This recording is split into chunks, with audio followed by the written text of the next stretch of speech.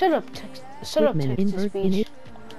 Okay, so I just finished the live stream and I put on invert colors and my car looks sick. And this isn't even the blue one, this is the red one. Let me show you the blue one.